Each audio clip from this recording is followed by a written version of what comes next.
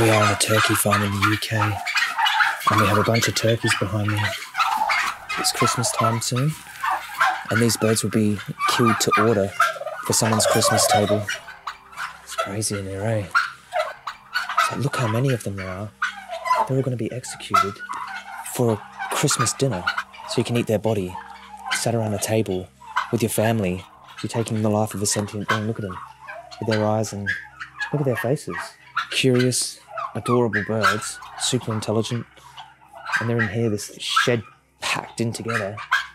Feces on the floor. Like this is a small scale turkey farm, so the more larger intensive farms are horrific, but you know, these birds are all going to face a knife across the throat. For what? For what? For Christmas tr- tradition? Look at all their little beady eyes looking over at us.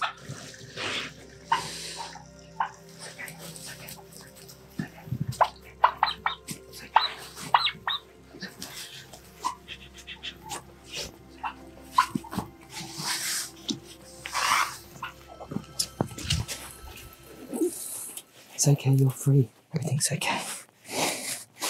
You're not going to be anyone's Christmas dinner. No one going to hurt you anymore.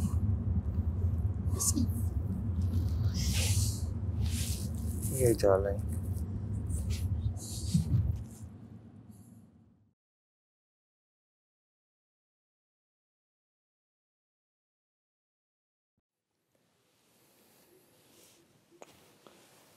So this is Tinsel, and Tinsel is a free-range bronze, and she was actually rescued from being someone's Christmas dinner.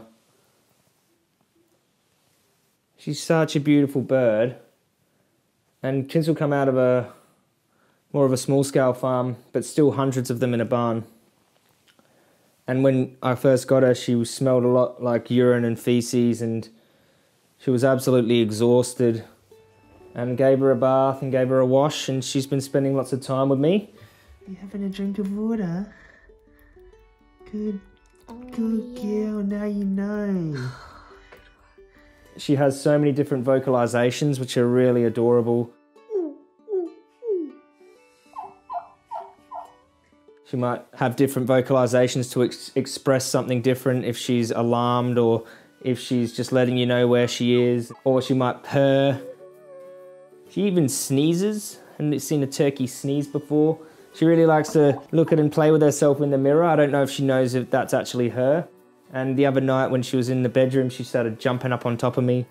So the turkey just flew up and landed on the bed.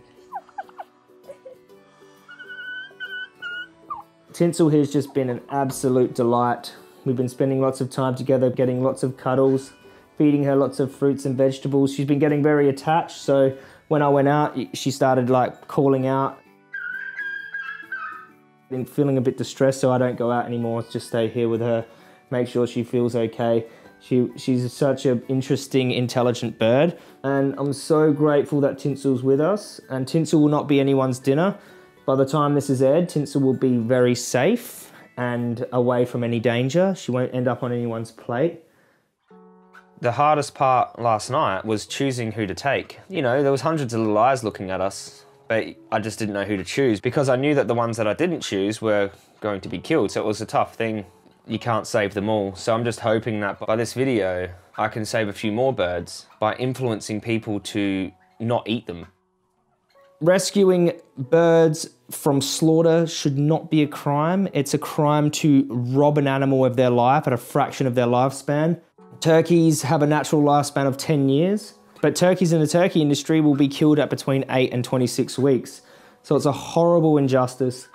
If you're someone who's feeling something for this bird and for this story and going, oh, how sweet, how cruel that they were going to cut this animal's head off, well, with Christmas coming up, you might be actually sitting around a table where there's a corpse of a bird like this used as a centerpiece. We're basically rescuing animals like this from you because it's you who are putting these systems into place.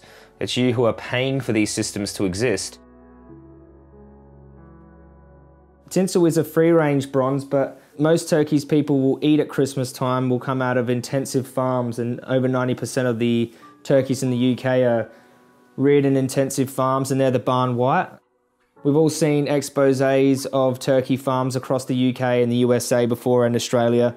They're absolutely horrific. Most birds are treated in horrific ways, and turkeys are not exempt from that.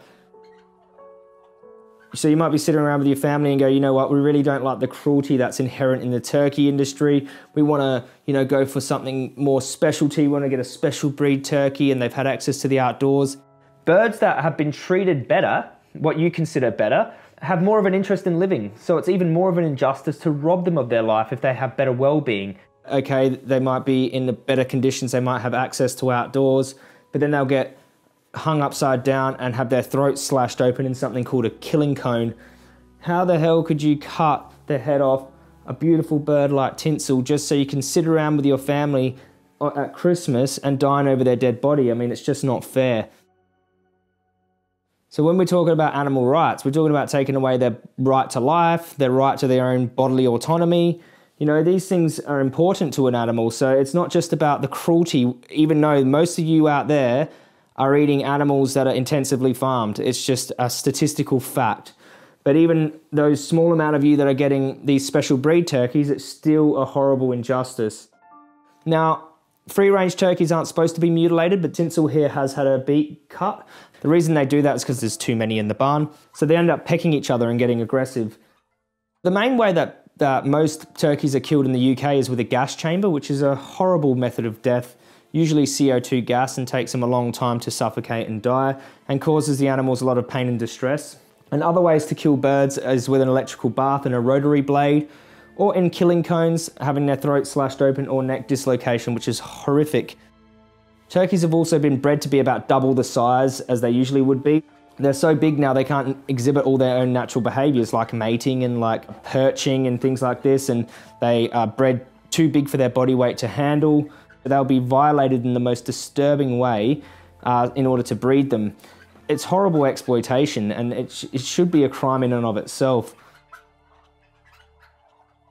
So when you think about the spirit of Christmas, uh, sitting around with family comes to mind, compassion, sharing, giving gifts, singing, having a good time, love. It's a really magical time for a lot of kids and a lot of families.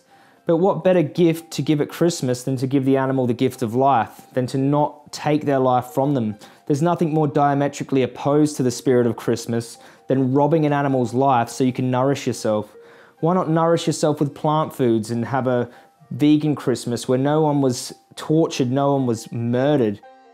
It makes me really upset to see what human beings do to these birds over some insane tradition I think traditions should always be questioned. Some some traditions are, are, good and fine and okay, and other traditions are cruel and outdated. And Christmas turkey dinners are one of them.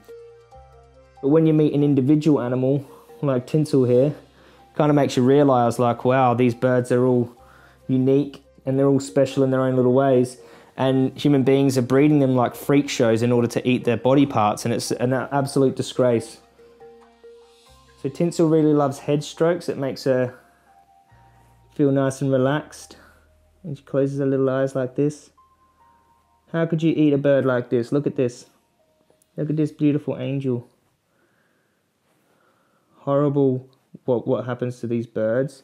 And they just want to live.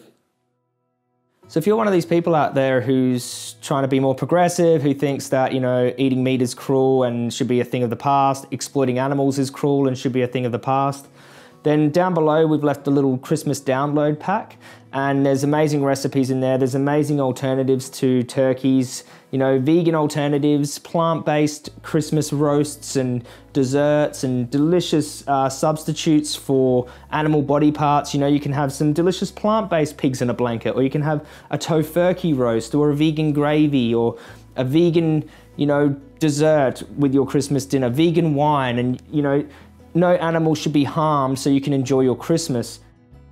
So please don't eat Tinsel the turkey this Christmas and be vegan. Isn't right, Tinsel? Yeah, you nodding? Yeah?